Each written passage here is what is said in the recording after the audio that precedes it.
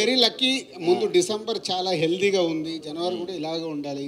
Animal ఆయనాన్న Salaar కమర్షియల్గా అన్నీ super hits వచ్చాయి ఈ ఈ మంత్ సో నెక్స్ట్ మంత్ కూడా సంక్రాంతికి వచ్చే సినిమాలు ఎక్స్ట్రాడినరీ హిట్స్ అవుతే మనకు థియేటర్స్కి జనాలు ఎలా అయితే వస్తున్నారో నెక్స్ట్ మంత్కి ఉపయోగపడుతుంది.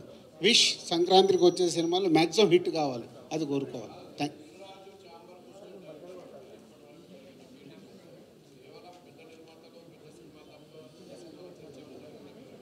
ఎందుకు జరగదు? ప్రతి మీటింగ్లో జరగదు. నిర్ణయాలు ఏం జరగవు.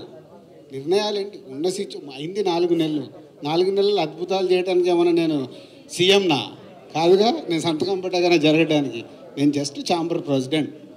జరిగిన నాలుగు మీటింగ్లు హెల్తీగా జరిగాయి. సార్ మీరు మామూలుగా మీ హ్యూమిలిటీతోనో లేకపోతే మీ సంస్కారంతోనో నేను ఎవడు దిల్ రాజు ఏమైనా సీఎం అని మాట్లాడుతున్నారు కానీ బట్ సినిమా ఇండస్ట్రీలో ఏ ఆఫీస్కి వెళ్ళినా దిల్ రాజు గారు ఏమన్నారు? దిల్ రాజు గారు ఏం అనబోతున్నారు? దిల్ రాజు గారు ఏం అనొచ్చు?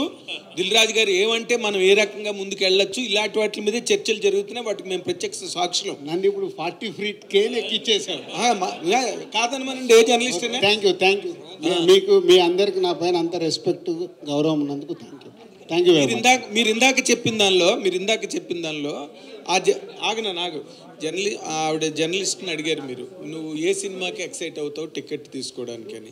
వాళ్ళు ఎవడైనా సరే బిగ్ బడ్జెట్ పెద్ద హీరోలకే వెళ్తారు. అంటే ఈ మేరకి తక్కువ సినిమాలకి కొంచెం వెనక్కి జరగడానికి అవకాశం ఉంది అలా ఉండదు. అంటే జనరల్గా మన మైండ్ సెట్ ఎలా ఉంటుంది? నేను ఇప్పుడు మన సలార్ ఉంది. నిద్రపోకుండా ఒంటి గంటకు సినిమాకి వెళ్ళా శ్రీరాములకి. మనకి ఎగ్జైట్మెంట్ ఉంటుంది.